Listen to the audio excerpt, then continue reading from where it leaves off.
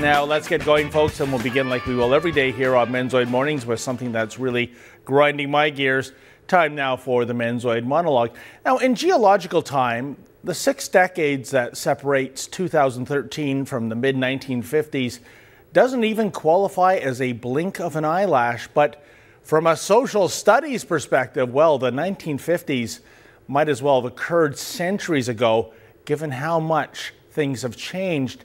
Case in point, could you even imagine a show like this being produced today?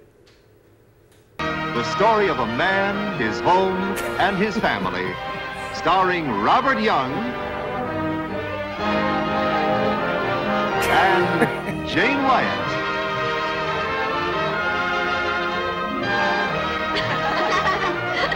With Elinor Donahue, Billy Gray, and Lauren Chapin in Father Knows Best. Whoa, Father Knows Best? Surely that is satire because a father in a sitcom today is more likely to resemble this guy. Hang on, you're adding kerosene? Peter, that's insane. That'll destroy your body. Kerosene is fuel, Brian. Red Bull is fuel. Kerosene is Red Bull.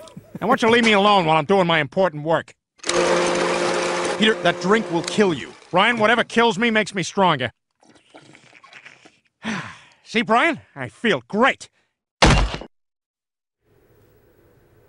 Now, I, I, could have chosen so many examples of idiotic male figures that now dominate popular culture, folks, from American Dad to good old Homer Simpson. Father knows best, more like father knows nothing. Indeed, this coming Sunday is Father's Day, an opportunity to honor dear old dad, even though the forces in Hollywood and Madison Avenue have a different viewpoint of males these days. Indeed, to adapt the old Molson Canadian tagline, I am an idiot. Yeah, you read it right. According to numerous sources, I'm an incompetent goof, a pathetic primate who can barely function in our oh so complicated world. Why the lowly self esteem? Well, no, I didn't invest in Bre-X, nor do I drive a Pontiac Aztek. Rather, it's the advertising industry and pop culture that's convinced me I'm a loser due to one glaring prerequisite. I'm a guy. Indeed, a while back I took inventory of radio and TV ads that involve situations in which there are two characters, one a man and the other a woman. In every single spot, folks, except one by FedEx, men were portrayed as imbeciles. Even if the script established the male character as a successful business owner, he still came across like the classic Phil Hartman character, unfrozen caveman lawyer from Saturday Night Live. As you might recall, the defrosted Neanderthal continually grunted that commonplace things in today's world, such as tall buildings and fast moving cars, would frighten and confuse him. In today's advertising world, unfrozen cavemen abound. In a Toyota radio ad, for example, a male Toyota owner comes across as virtually brain damaged when he addresses a female Toyota customer service clerk.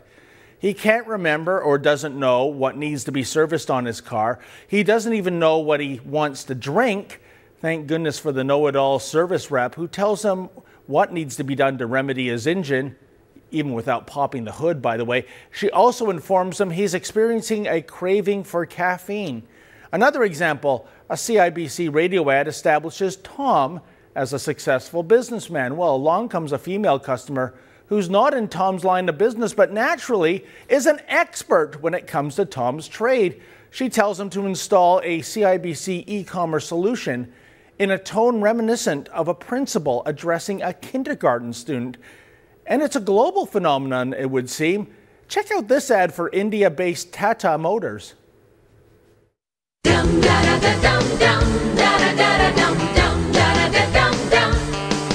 It's the right kind of day to soak up the sun. Let's get out there and have some fun. Ooh, nice. We want a sizzling hottie who'd like to get naughty. Do you know any help us rob suntan? Uh, I think uh, maybe you should try the beach cafe. Dum dum dum dum. Congratulations, you are truly dumb, so there's no point in telling you about the all-new Indica Xeta with 70 PS power, 14 kmpl, rupees 2.94 lakhs only. Huh? If you still miss it, You gotta be dumb. That's another trend in advertising these days, folks. The himbo has replaced the bimbo as a politically correct cheesecake or beefcake, as the case may be. But that's for another day. Of note, a few years ago, one man had enough of the male bashing. Peter Regan, a single parent in Calgary, filed a complaint with Advertising Standards Canada after he took exception to a ad for Rona. The spot depicts a female Rona employee dealing with a female customer who laments that her husband never helps around the house. The clerk responds, quote, that's okay. They, meaning all husbands, are all like that. Well, the Advertising Standards Council decided the commercial indeed contravened regulations and, quote, disparaged men and or married men, and they asked Rona to remove or alter the ad. Yet, what is the unspoken strategy of having men cast as dimwits in the first place? Cannot be random chance. In fact, it's statistically impossible that in almost all ad scripts, the male is the one who is dazed and confused while the woman or even a child is portrayed as an oracle of wisdom. My hunch when it comes to getting slagged, men tend to take it, well, like a man. Aside from the aforementioned Rona complainer, men tend to be stoic and silent about such slights. York University marketing professor Alan Middleton adds another noteworthy point. He told me since women in many households control the purse strings, ad agencies figure it's not a very prudent idea to upset the individual who is likely to make the purchase. Thus, if the script calls for a dolt, it's a no brainer the man will play the fool. Indeed, as long as the complainers, such as Peter Regan, remain the exception as opposed to the rule, expect men to be depicted as dumbbells in advertising for years or even decades to come. Then again, what do I know? Bottom line, this Father's Day, give dad a hug. Tell him you love and respect and admire him. And tell Papa that despite what so many male bashers would try to get you to buy into, you just don't believe the hype. And that's the Menzoid monologue.